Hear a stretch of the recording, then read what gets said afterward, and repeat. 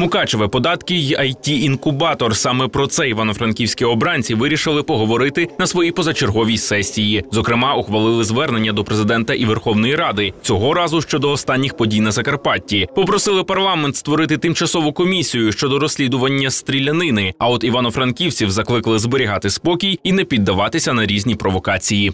Ми звертаємось до кожного Івано-Франківська з проханням врівноважено та спокійно реагувати на ті події, які спрямовані на дестабілізацію українського суспільства, та не допомагати руці Кремля роз'єднати нашу націю.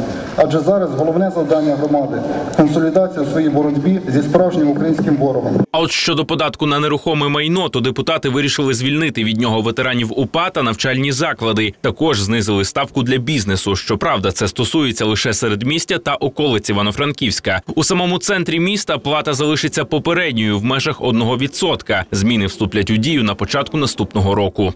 В центральній частині міста був 1%, він лишається 1%. В середмісті ставка податку буде 0,75%, а на окраїні якби, вона буде 0,5%. Якби це перелік вулиць відображений в рішенні, якби він буде розміщений на сайті міської ради, і всі, хто мають бажання, зможуть з ним ознайомитися. Крім того, А ще міські обранці вирішили надати приміщення по вулиці Гординського, 10 норвежським інвесторам для створення там it інкубатора. Щоправда, лише після того, як виконком пропише чіткі умови договору. Як розповіли чиновники ОДА, згідно попереднього задуму, заклад матиме освітнє призначення, а займатимуться у ньому діти. Це буде давати можливість створювати робочі місця для молоді, буде мати можливість створювати it продукт з високою доданою вартістю, що є надважливим так само для економіки міста.